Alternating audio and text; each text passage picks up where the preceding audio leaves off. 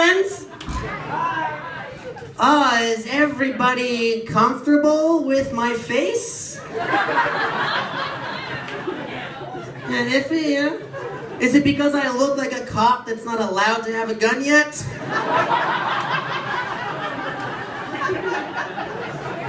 Or like if Freddie Mercury joined Mumford and Sons? Or maybe it's the vibe I put out of like guy that's banned from using the computer at the library. Uh, I, uh, a while back, uh, I was at a house party, guys. I went to a house party because I didn't want to go to a club and have to just stand there pretending I like Pitbull. So, I'm at the house party and I drank a bottle of wine that I bought at the store. And then I drank a second bottle of wine that my friend's uncle made. And I got blackout drunk so hard and so fast that when I came out of the blackout, I was still at the party. And I was in the middle of making out with a lady. Yeah, I was surprised too. I'm standing there just, huh. It appears that Blackout Colin has a skill set that Conscious Colin does not. Didn't even end there. This lady, bless her heart, she invites me back to her home, and I go along and we get into her bedroom, and I look at her and I say, Hold on, I have a condom in my jacket. And she poses up on her bed, and then in her best sexy voice, she goes, Ooh. Cautious.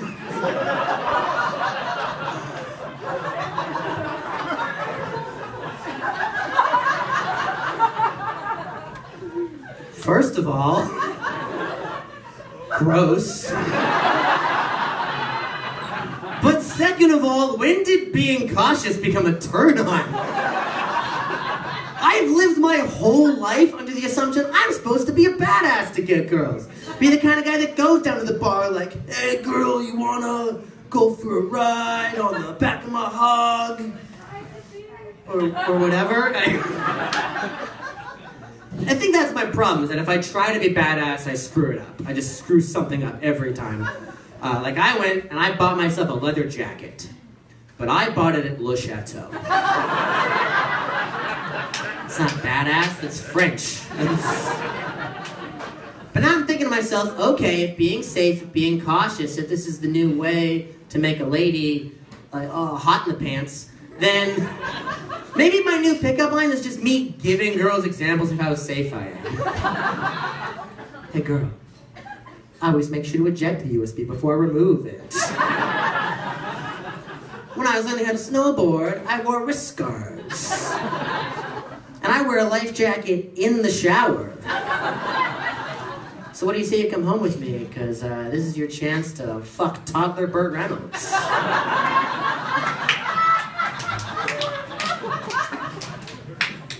I am, uh... So my name's Colin, and I am born and raised here in Vancouver. I'm actually a fourth generation Vancouverite, and I love this city. Mountains, down the parks, the beaches. But there is one thing. Uh, if you head down to Gastown, uh, the historical center of the city, amidst all the cobblestone streets, there's that old-timey looking clock. Yeah, the historic Gastown steam clock. Fuck that clock!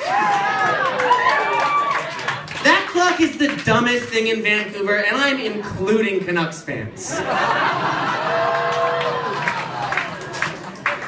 You know everything about that clock is a lie? Everything. Yeah, they call it historic, but it wasn't built until 1977. So you know what's older than the Gastown steam clock? The rapper Ludacris. You don't get to be historic and younger than someone from Fast and the Furious. Like, especially because in 1977, there was legit technological innovation happening, right? That's actually the year that the first space shuttle mission launched.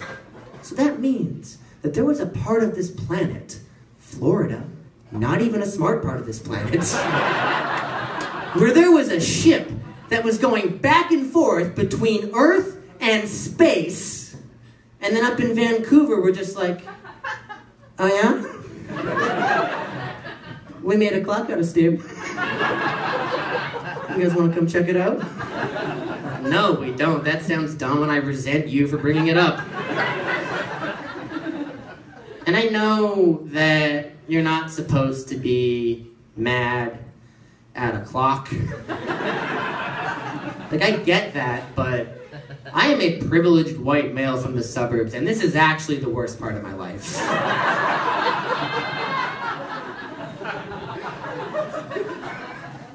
Because you know it doesn't even run on steam? Yeah. They, there's a steam engine in there. They could never figure out how to make it work, so they just added three electric motors. You can't name your shit after the thing you wish powered it. I had a piece of spinach last week. I'm not salad powered. I'm dollar pizza donair and bourbon powered. That's, it's not healthy, but it's honest, you know? I get what they're going for though, right? You know, they want to have like a tourist attraction, something cool and unique, but if you want a unique way to power your clock in Gastown, why not use gas? Right? And have flames shooting off the top of it? Like it's a monster truck shitty nephew? And there'd be no more boring, unoriginal couples getting their engagement photos in front of it. It would just be metal bands shooting music videos. The flames are going, he's wailing on the guitar. Hell, I would support a pipeline if all it did was deliver crude oil directly to our new fire clock. All right, my name's Colin Trev. You guys had a lot of fun.